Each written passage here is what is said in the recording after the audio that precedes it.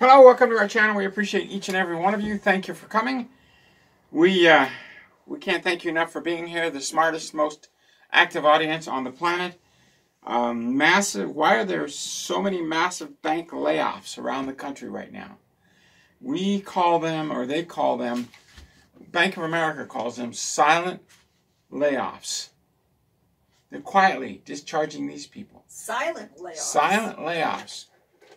Five people here, ten people there, thirty people there. That branch closes, that branch closes, that branch closes. It's happening all over the country. The silent layoffs. First of all, there will be no debt jubilee. When the dollar falls, you're still going to be liable for all that debt, except food costs and housing costs and everything else costs are going up. The BRICS are formed. 30% of the $20 trillion in world trade is now done outside the dollar. By the end of December, it should be 50%. That are, those dollars are flooding back in here and their prices are going up. The average person owes 8,470 or $8,674 in credit card debt. Total average consumer debt is 104,000 between mortgages and auto loans, etc., etc., etc.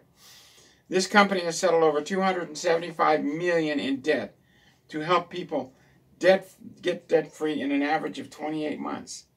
You call them, you have a lot of credit card debt. A lot of the credit cards will reduce the amount that you owe. They will negotiate.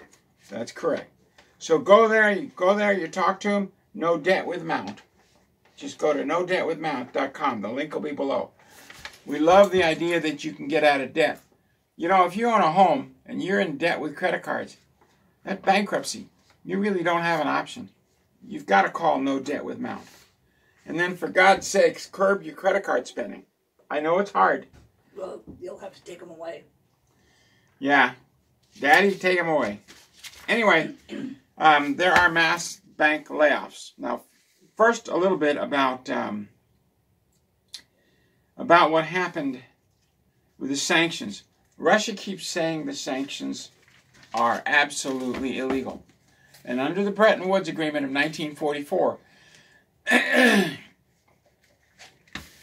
where the US dollar became the world standard for trade and it was backed by gold, in 1971 that was violated. and then the United States started violating the Bretton Woods Agreement. So, for example, Ambassador Wantan, Wanta, he shorted the Russian ruble, made 6.5 trillion dollars by shorting the Russia, Russian ruble and destroying Russia. And then Dick Cheney came in and stole the 6.5 trillion. And he whined and whined. Must be nice to be able to steal 6.5 trillion, right? Wanta was all over the net. He stole 6.5 trillion. So you stole it from Russia and he stole it from you. Just like Sean David Morton stole my money and then the Securities and Exchange Commission stole his money and they won't give it back to me. Or him. Or him because the Securities and Exchange Commission is nothing but a bunch of thieves. Aren't they a U.S. supposed U.S. corporation? Securities and Exchange Commission? Bunch of lying thieves, just like Ambassador Wonton, just like Dick Cheney, just like all our presidents. So the sanctions that are being put on Russia by all the presidents, Obama, Trump, and now Biden, they're, they're all illegal. And by the way, the vote is in 10 days, and you have two choices. And we're not allowed to say the names, but the Miss Flibberty Gibbet, that's the symbol of Miss Flibberty Gibbet. It's That's called not a propeller. Joy through strength. Now that was the 1933 calling card for the man who started this party. Joy through strength. That was their symbol. Now it would be in red, except my printer ribbon ran out.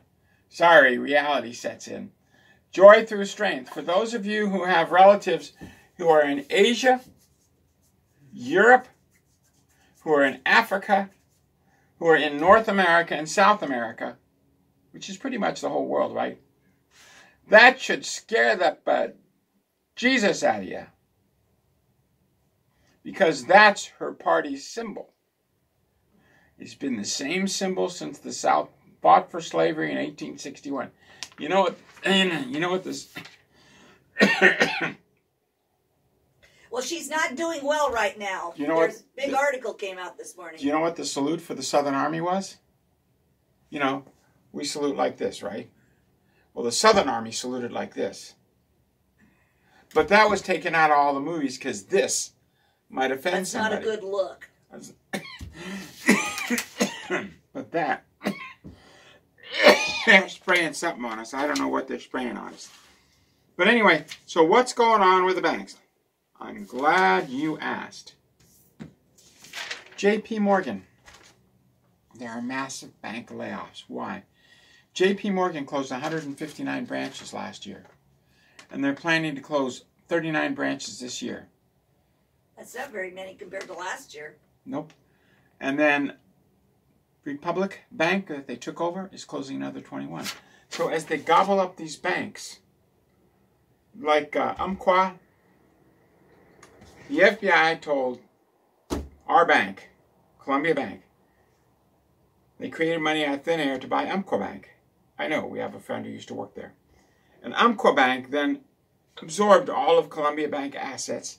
We went from an A plus rated, our bank went from A plus to CC, non-investment grade. I think it's Standard & Poor's. And then they closed a bunch of branches. So when the, the banks consolidate, they close a bunch of branches. So when they bought um, Republic Bank, they closed a bunch of branches. Bank of America is closing 124 this year. Oh, I think they closed three times that last year. Wells Fargo, 88 branches closed. Citibank, 240 branches closed. U.S. Bank lost 134 branches, or 132 branches. They just out, U.S. Bank just outright and said it. We just laid 7,000 people off. PNC Bank, 20 branches.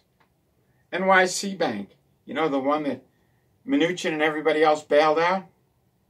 They just lost $280 million this last quarter. How does a bank lose $280 million? You borrow money, you give it to, you borrow a 100000 or you, you create a $100,000, you give it to a homeowner, and suddenly you have a $100,000 more money than you had yesterday. So bank, so what New York City Bank does is they, they create money out of thin air to lend to you, and then they have that in a loan. How do you lose money when you do that, Jane? And then you resell it. So you, let's say you've got a $500,000 loan. You lend it to them, you make a bunch of fees. I don't know, probably in the neighborhood of $10,000 in fees. You, plus you take that $500,000 loan, sell it to Fannie Mae, Freddie Mac for $450,000 and bingo, you just you have $460,000 in your pocket. Now how does a bank that does that lose money? I mean, it's a, it's a it's a cash printing machine, right?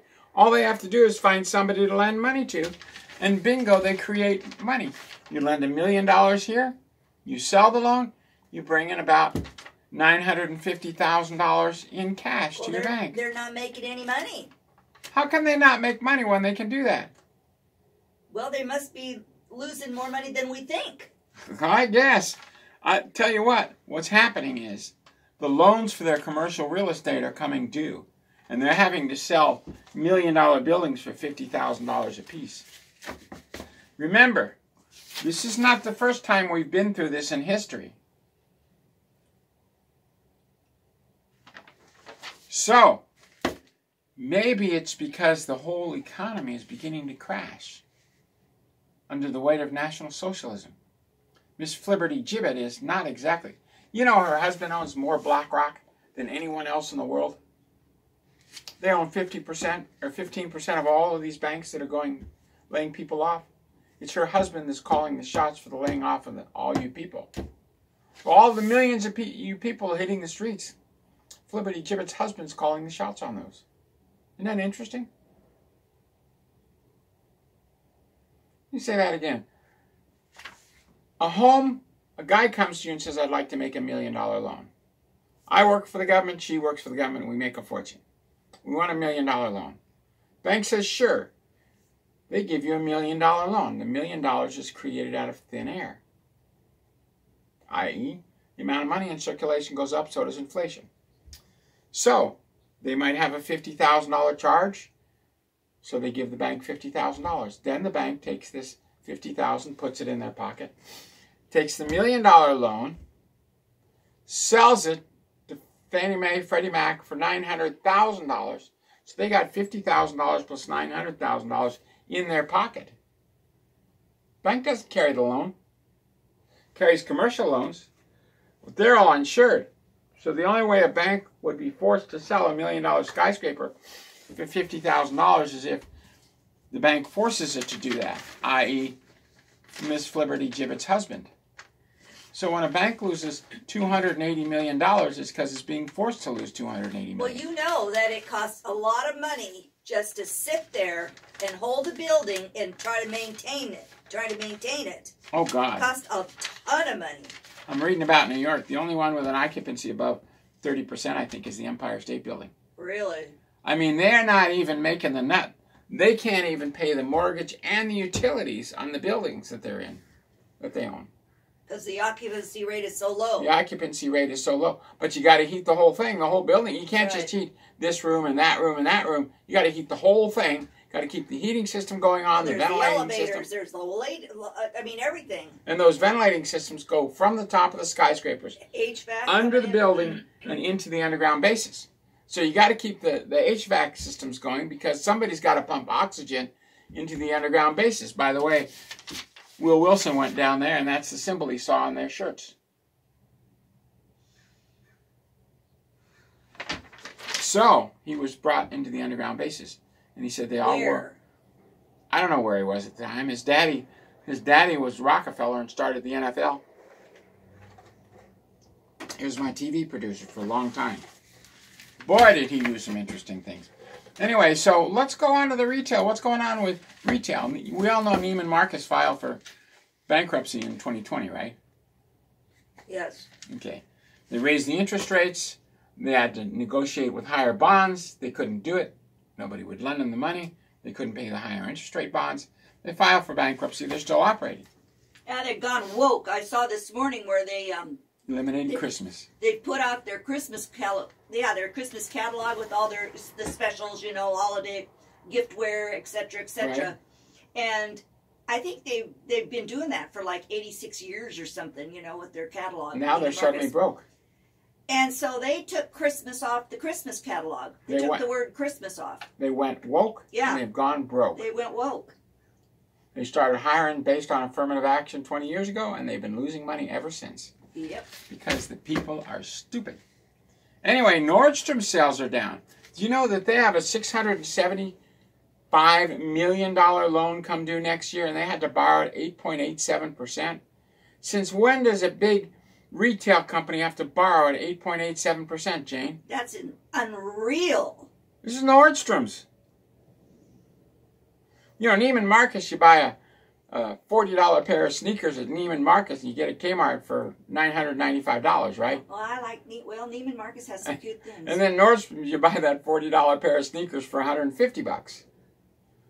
So Nordstrom, now Nordstrom's has some great products. We have some Nordstrom's products. I walked out of there with, what was it, four pair of shoes and a pizza for under 100 Or five pair of shoes. They were having a heck of a sale.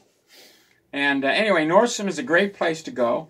Um, but you can roll a bowling ball down the aisles. The upstairs, they finally filled it, but you can roll a bowling ball. And they don't take suggestions. Oh, are they mean when you give them a suggestion? Oh, boy, are they mean. Anyway, they've gone woke. And they They're have, know-it-alls. yeah, they are know-it-alls. That's why they're losing so much money. And J.C. Penney's, I stopped at this. I couldn't believe the numbers for J.C. Penney's. When I was a kid, you could go to Sears, you could go to Penney's, you could buy a shotgun, you could buy a stereo, you could buy records, you could buy toys for the kids. And then they started going woke. They eliminated the gun section altogether. No more hunting clothes, no more nothing. Sears still kept their hunting clothes. But to compete, J.C. Penney's put in a Carhartt section. Ooh, ah, are you impressed yet? But Sears hired diversity inclusion first.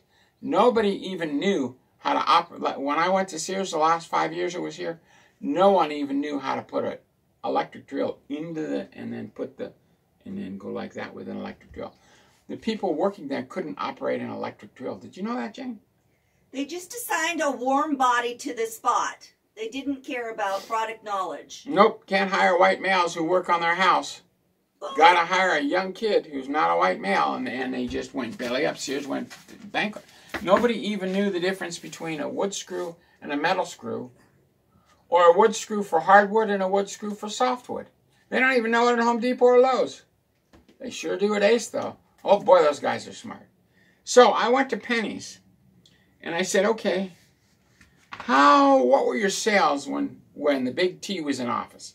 Because it's getting close to the election. We don't want to say, you know, Flibberty Gibbet's name or the big T. Oh yeah, we'll get banned. Oh, they're they've got the they've got the uh, the guys out that are watching us like a hawk. Well, you know, anytime we talk about saving a politician's life, and then they find the thing that was supposed to make the politician leave the planet, or when we talk about what the Lucifer Trust says, they have to eliminate the human race in, what is it? It's uh, 67 days. They have to eliminate us in 67 days so Lucifer can bring his Christ back. Hey, it's in the Lucifer Trust. It's right on the internet. In fact, it's on YouTube. YouTube has this. Anyway, so I looked at Penney sales. It was 11 billion in 2020, 2019. I remember Penney's was pretty empty in 2019. You know what it was last year? It went from 10.7 trillion Of what billion. sales? total sales. Say it again. Total sales for J.C. Penney in 2019. That's five years ago, under the big T. Penney sales were 11 billion dollars a year. That's 11. You know what they are now? 1.5 billion. For the last four quarters, and they're down 20%. So it looks like 2024 Penney sales will be 1 billion. So they've gone from 11 trillion to 1 billion. Eleven Or trillion. billion, billion. Eleven 11, billion. 11 there's, there's another one. There's 11. eleven billion. 11 billion to 1 billion. Did you just stick your tongue out? Yeah, that's that's the extra one. Oh, that's the one. You got to use all you got, you know. Yeah, you got to have fun on this, but the numbers are right, and I was stunned. And I don't. Where do you go with this? The Hallmark stores are closing. The grocery stores in the cities are closing, and Penney sales are down ninety-one percent Ninety-one percent. from eleven billion to one billion. That's because they've gone woke. And uh, let me tell you, online sales only account for about 5% of total retail sales. So don't tell me Amazon's going up. Totally government funded. That's totally a government funded organization. When the government pulls the money from Amazon, they'll collapse the next day. Go ahead. I'm not seeing the Amazon truck going up and down the street that much to make up for it. No. Anyway, the economy under this, under the Biden, under BIDEN administration, under the Miss Flibberty Gibbet, is collapsing. Socialism dies when you run out of somebody else's money, and the BRICS is taking that money away, and the system is collapsing. God bless.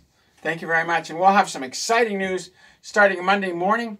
Oh boy, we're good. We're coming to the we're coming to the countdown now. uh, yeah, it'll be like 10, 11, 9, 8, 7 days to election on Monday. I already voted. Yep. We'll see you tomorrow.